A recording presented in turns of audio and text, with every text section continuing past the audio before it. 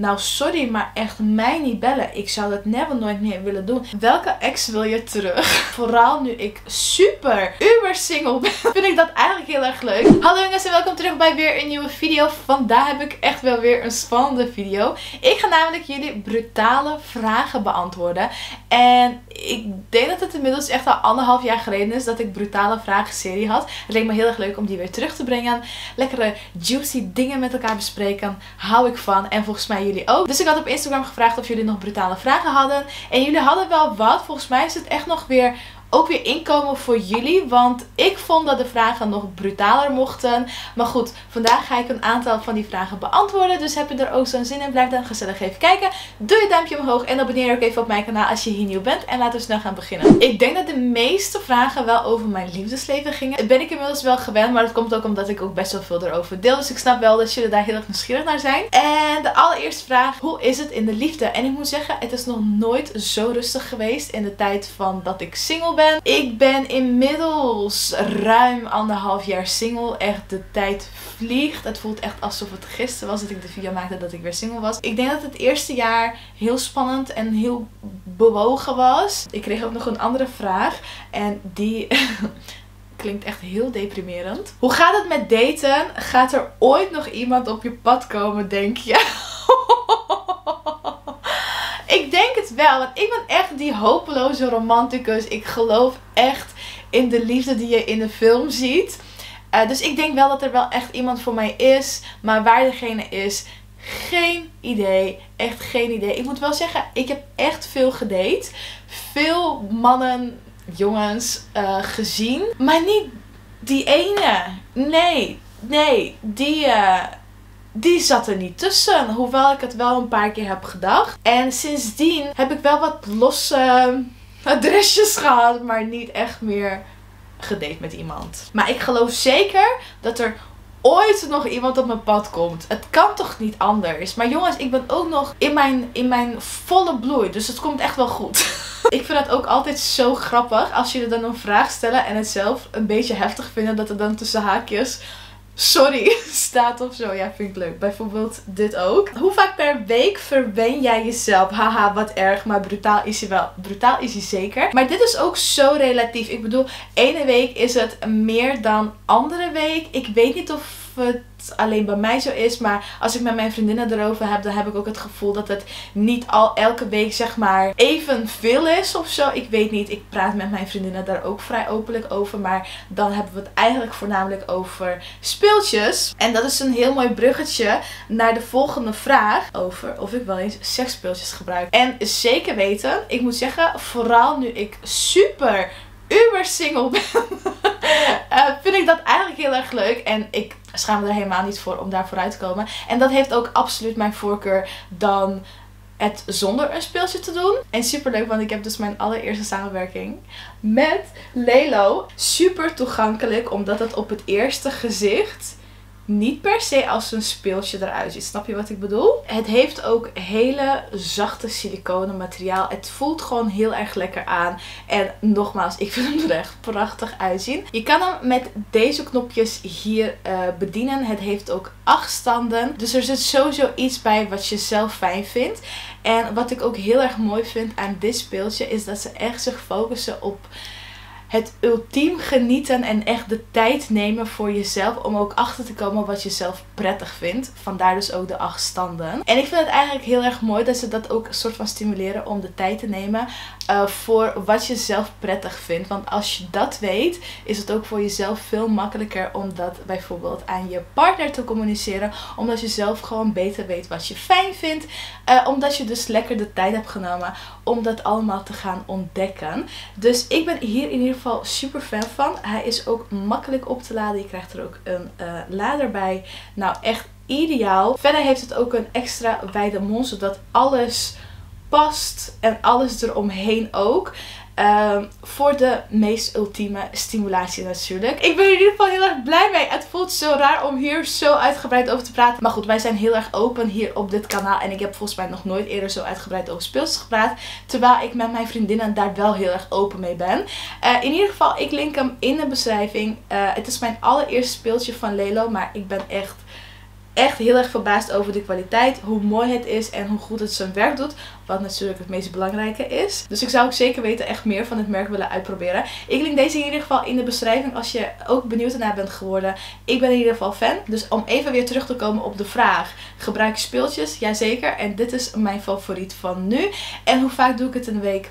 Het ligt echt aan de week. Ik durf het bijna niet te zeggen. Ja, heel veel gaat natuurlijk over de liefde, zoals ik al zei. Uh, maar ik heb nog een andere vraag. Uh, en dat is: wat is je grootste onzekerheid? En ik denk dat dat op dit moment mijn huid is. Het was wel echt een veel grotere onzekerheid. Ik heb het gevoel dat ik nu wel vergeleken met hoe het een jaar geleden was bijvoorbeeld, wel echt best wel een rustige huid heb gekregen. Hoewel ik nog steeds wel best wel veel littekens heb. Dus ja, ik vind het niet heel prettig om zonder make-up mezelf te vertonen. Ik doe het wel natuurlijk, want ik vind dat dat normaal is en dat er ook bij het leven hoort. Misschien is het ook zo dat ik het veel meer heb geaccepteerd dat mijn huid nou eenmaal er nu zo uitziet zoals het er nu uitziet. Maar het blijft nog wel mijn allergrootste onzekerheid op dit moment. En wat nog meer. Um, nou, en misschien stiekem toch het feit dat ik een paar kilo ben aangekomen. Hoewel ik dat wel ook zoveel mogelijk probeer te accepteren. Zolang ik me gewoon lekker in mijn lichaam voel. En dat is meestal wel het geval. Dus eigenlijk zou dat geen onzekerheid moeten zijn. Maar goed. Heb je nu je single bent wel eens one night stands? Uh, ja, ik heb er wel een aantal gehad. Ik moet zeggen, het heeft niet mijn voorkeur. Welke ex wil je terug? Dit ben ik zo'n hilarische vraag. Ten eerste, ik wil geen enkele ex terug. Oké, laat dat even, laat ik dat even voorop stellen. Op Instagram uh, plaats ik ook af en toe van die vraagstickers met: Oh, wat heb je afgelopen weekend gedaan? Of heb je iets om op te biechten? Weet je wel, dan vinden mensen ook wel leuk om dat van anderen te lezen. En hoe vaak ik lees, oh, ik ben weer bij mijn ex in bed beland. Oh, mijn ex dit, mijn ex dat. Op een gegeven moment heb ik gezegd, jongens, ik wil niks meer over exen horen. Maar als ik echt moet kiezen welke ex ik terug wil, um, dan is dat Emiel. Wie mij langer volgt, die heeft al die storytimes wel gezien daarover. Ja, ik denk dat hij mijn favoriet is. Ja, als ik echt zou moeten kiezen, dan zou ik hem zeggen. Kijk je op straat vaker naar vrouwen of naar mannen? Dat vind ik echt een hele leuke vrouw. Vrouw? Dat vind ik een hele leuke vrouw. Vraag. Ik denk dus dat het een beetje 50-50 is. Als ik naar een vrouw kijk, dan is het meestal naar wat ze aan heeft. Of hoe ze haar haar heeft. Of de schoenen of de tas. Of dat soort dingen. Uh, en naar een man kijk ik van, oeh, vind ik hem aantrekkelijk of zo. Ik denk toch stiekem mannen. Ja, ik denk, ja, ik denk mannen. Heb je ooit een Brazilian wax gedaan? Nee. En ik zou het zo graag willen. Klinkt misschien heel raar, maar ik zou, ik zou heel graag willen weten hoe dat is. Hoe dat überhaupt gaat. Uh, ik heb wel positieve ervaringen gehoord van vriendinnen en ook van mensen op het internet. Alleen heel veel mensen zeggen dan ook dat je uh, heel snel last kan krijgen van ingegroeide haartjes.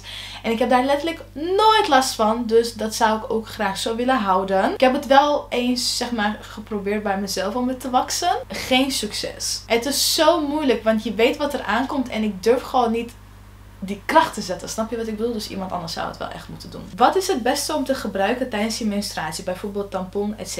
Nou, dat is natuurlijk super persoonlijk. Ik was altijd de allergrootste fan van maandverband. Ik gebruikte eigenlijk bijna nooit tampons. Ik moet zeggen dat het nu tegenwoordig wel anders is. Ik vind nu een tampon eigenlijk heel erg handig.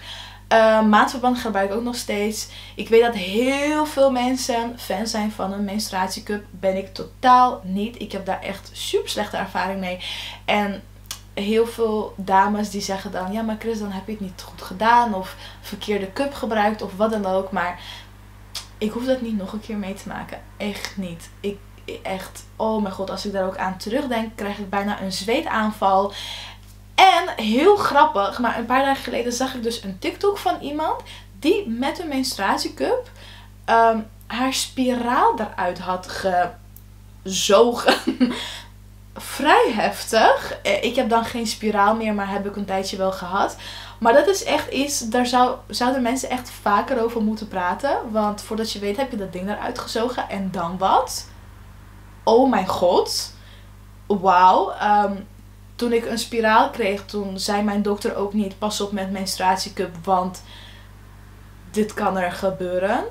Maar dat was ook letterlijk de reden waarom ik dat ding niet uitkreeg. Is dat het ding gewoon zich vacuüm had gezogen. Nou, sorry, maar echt mij niet bellen. Ik zou dat never nooit meer willen doen. Ten eerste, ik kreeg dat ding er niet uit. En juist omdat hij zo helemaal zo erin zat, had ik echt krampen gekregen. Dat was echt geen pretje. Ik weet nog wel, die dag was ik dus aan het vloggen. Ik was gewoon licht in mijn hoofd. Dus ik hoef, ik, ik hoef dat niet meer. Nee, ik hoef dat echt niet meer.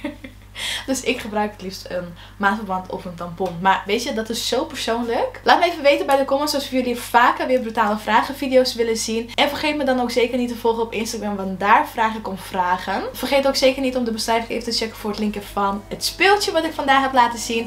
Heel dank voor het kijken jongens en hopelijk tot de volgende keer. Doei doei!